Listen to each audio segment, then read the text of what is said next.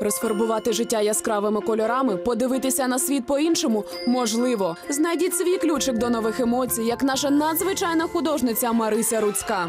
Я побувала одного разу в лондонському парку. Це Сем Джеймс Парк, е, парк біля королівського палацу. І там є велике красиве озеро, і на ньому дуже багато різних птахів. І в той день я пам'ятаю, я прийшла і помітила наскільки їх багато. Це було величезне різноманіття. І я зрозуміла, що мені якось аж соромно, що я жодного з них не знаю. Саме ця прогулянка і спостереження за птахами повернули світ Марисі з голови на ноги. Я сфотографувала всіх птахів, яких я побачила, яких я змогла сфотографувати. Прийшла додому і вирішила їх визначити. Я знайшла в інтернеті якийсь онлайн визначник, визначила всіх тих птахів, і мене це наскільки захопило, що за кількома кольорами, за якоюсь формою дзьоба можна дізнатися, що це інший птах, і що це зовсім не складно. Марися перечитала тонни інформації про птахів і з подивом відкрила для себе, що таких як вона, захоплених птахами, мільйони по усьому світу.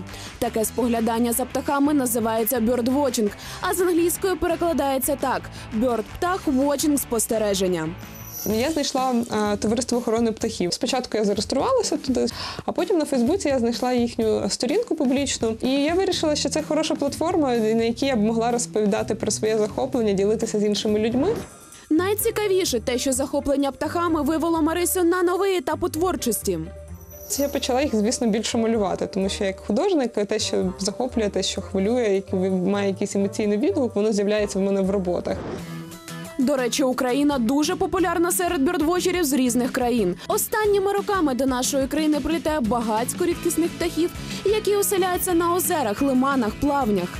Це стало можливим завдяки активним діям товариства охорони птахів та підтримці Кока-Кола, які активно займаються відновленням прісних водойм. І головне пам'ятайте, безвихідних ситуацій не буває. Варто лише придивитися і почати діяти.